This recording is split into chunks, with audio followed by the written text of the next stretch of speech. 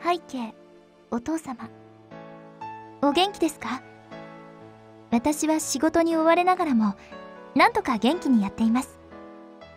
私が女優になる道を選んだ時は心配させてしまいましたがようやく私も女優としてやっていく自信のようなものがついてきました。私はただ綺麗なだけではなく本当に人を感動させることができる演技を身につけた実力のある女優になりたいです。そのために普段から努力を惜しまず何にでもチャレンジしています。まだまだ修行中の身ですが徐々に自分の演技というものが見えてきたように思えます。本気でやれば必ず夢は叶う。このことは私の信念です。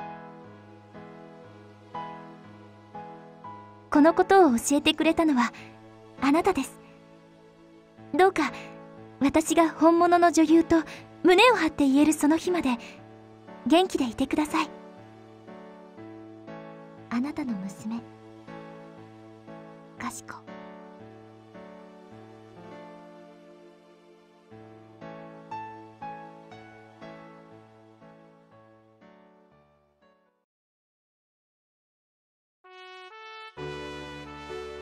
私のお腹にはあなたの赤ちゃんが。何？け どうせ他の男との子供だろうが。俺は知らんぞ。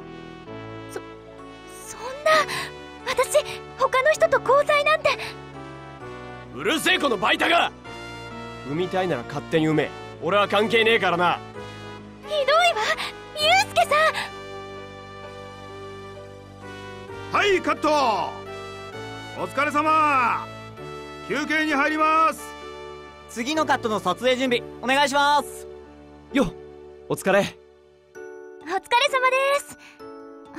あそうだ秋月さん。台本のことで確認したいことが。あどれどれ？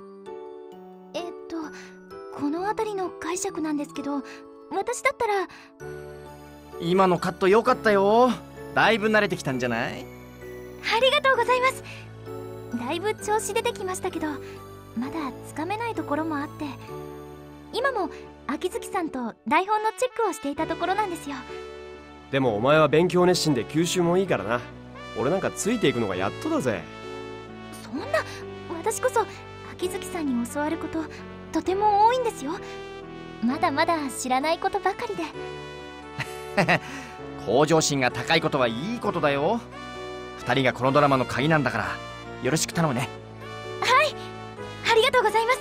頑張ります。お父さんご無沙汰してます。近頃富に忙しくなってしまって連絡が滞ってしまってごめんなさい。今日はとってもいい知らせがあるの。なんと次の大河ドラマでヒロイン役をやることになったのよ。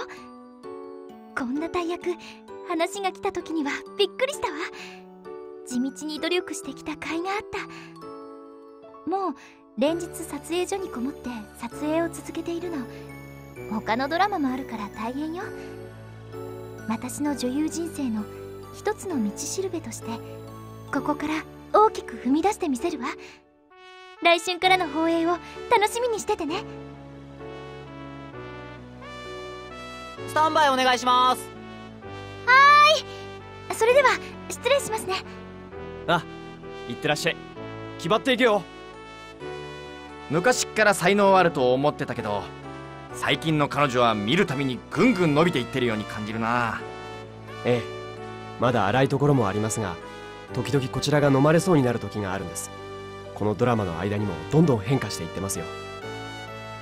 きっと話題になるんじゃないかな。そっか。ひょっとしたら僕らは大女優誕生の瞬間に立ち会っているのかもしれないね。